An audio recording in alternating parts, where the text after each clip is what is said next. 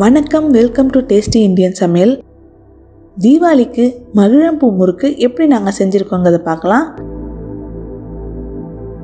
இதுக்கு தேவையான பொருட்கள் மாவரைக்க பதினாறு அழகு பச்சரிசி நாலு அழகு பாசிப்பருப்பு எடுத்திருக்கோம் நாங்கள் அதாவது நாலு டு ஒன்று ரேஷியோவில் எடுத்திருக்கோம். அதாவது நாலு பங்கு பச்சரிசினா ஒரு பங்கு பாசிப்பருப்பு எடுத்திருக்கோம். இப்போ முறுக்கு புழியறதுக்கு மூணு கிலோ மகிழம்பூ முறுக்கு மாவு மூணு டேபிள் ஸ்பூன் வெண்ணெய்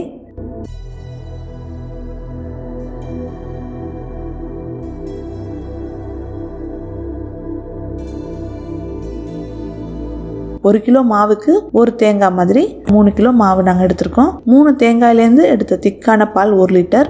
அரை லிட்டர் ரெண்டாம் தடவை எடுத்த தேங்காய் பால் எடுத்துக்கோங்க. அரை கப் சர்க்கரை கூடவே முழுகிற அளவுக்கு தண்ணி ஊற்றி நல்லா கரையிற மாதிரி வச்சுக்கலாம். மூணு டேபிள் ஸ்பூன் வறுத்த வெள்ளையல் மூணு டேபிள் ஸ்பூன் கல் உப்பு தண்ணீர் தேவையான அளவு. இப்போ மகிழம்பூ முறுக்குக்கு மாவு எப்படி பண்ணுறதுங்கிறத பார்க்கலாம். பச்சை அரிசியை வந்து நல்லா கழுவி இந்த மாதிரி துணி வச்சு வடிகட்டிடுறோம். வடிஞ்சதும் வெயிலில் நல்லா காய வச்சுக்கிறோம். அப்போ அப்போ கிளறி விட்டால் தான் எல்லா அரிசியும் நல்லா காயும்.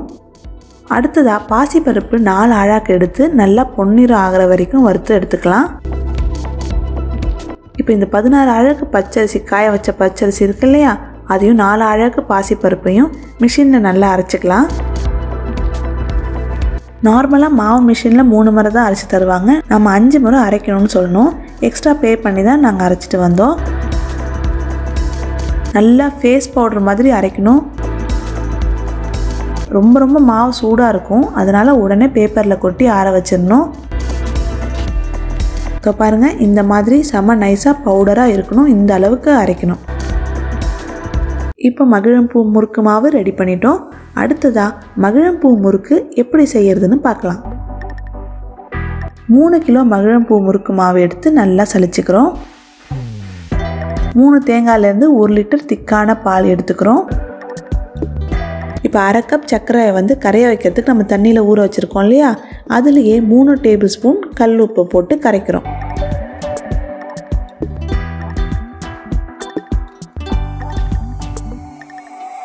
மூணு டேபிள் ஸ்பூன் வெண்ணெய் ஆட் பண்ணுறோம் அடுத்ததாக மூணு டேபிள் ஸ்பூன் வறுத்த வெள்ளை எள் ஆட் பண்ணுறோம்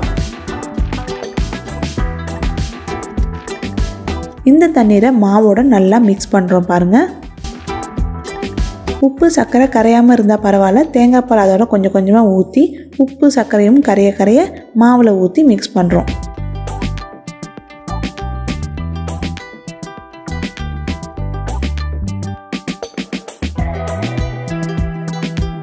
தேங்காய் பால் இந்த ஒரு லிட்டர் தேங்காய் பால் ஃபுல்லாக தீர்ந்ததும் ரெண்டாவது தடவை எடுத்து பாலை வந்து கொஞ்சம் கொஞ்சமாக ஊற்றி இதே மாதிரி மிக்ஸ் பண்ணி நல்லா பிசைகிறோம் தேவைப்பட்ட தண்ணியும் ஆட் பண்ணிக்கோங்க.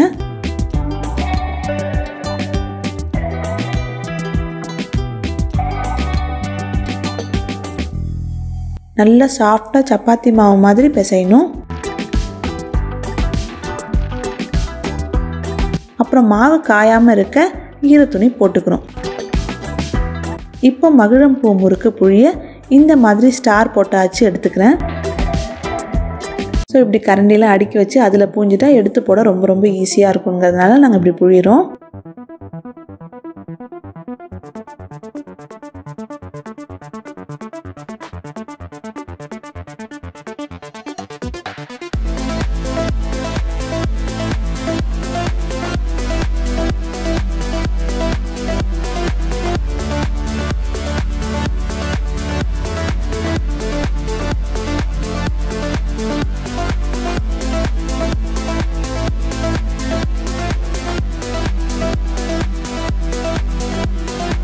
முறுக்கை சுற்றி இந்த மாதிரி கொதி அடங்கினதும் எடுத்துடணும். உடனே அடுத்த முறுக்கு பூஞ்சிருக்கும் இல்லையா அதை வந்து போட்டுடணும். அப்போ தான் எண்ணெய் சூடு ஒரே மாதிரி இருக்கும். எல்லா முறுக்கும் ஒரே கலரில் இருக்கும். கருகிலாம் போகாது. முறுக்கு ஒவ்வொரு முறுக்கும் ஒவ்வொரு கலரில் போகாது.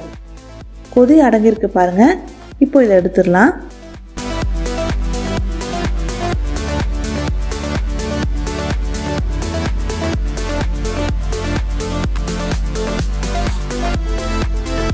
எல்லா முறுக்கும் சுட்டாச்சு. நல்லா ஆறுனதும் இப்படி பெரிய டின்னில் காற்று போகாத மாதிரி அடுக்கி வச்சிட்டோம். அடுத்த வீடியோவில் மிக்சர் எப்படி பண்ணுறதுங்க செஞ்சு காட்டுறோம். மிஸ் பண்ணாமல் பாருங்கள் நீங்கள் இந்த தீபாவளிக்கு என்ன பலகாரம் செஞ்சீங்கன்னு மறக்காமல் கமெண்ட் பண்ணுங்கள் கூடவே இந்த மகிழம்பூ முறுக்கு ரெசிபி ட்ரை பண்ணி உங்கள் டவுட்ஸ் அண்ட் ரிவ்யூஸ் எனக்கு கமெண்ட் பண்ணுங்கள் எப்படி இருந்துச்சுன்னு சொல்லுங்கள் மறக்காமல் எங்கள் டேஸ்டி இந்தியன் சமையல் சேனலை சப்ஸ்கிரைப் பண்ணுங்கள் அப்போ தான் நாங்கள் பதிவிடுற வீடியோஸ் உங்களுக்கு யூடியூப் உடனே காட்டும். நன்றி வணக்கம்.